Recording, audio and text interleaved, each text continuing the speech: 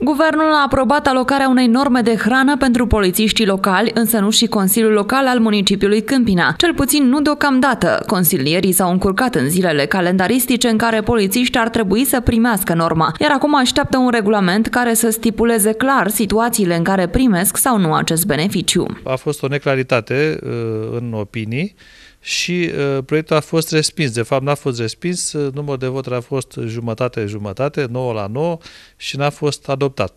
Acum, uh, înțeleg că pentru ședința viitoare altcineva eu nu o să propun un regulament ca anexă în care să se stabilească niște zile în care nu se va acorda norma de hrană. Este vorba despre concediile medicale sau cele fără plată, inclusiv zilele în care polițiștii sunt în delegație și primesc deja diurnă. Hotărârea de guvern prevede faptul că agenții locali primesc norma de hrană în valoare de 24 de lei pe zi în fiecare zi calendaristică, fără să stipuleze aceste excepții.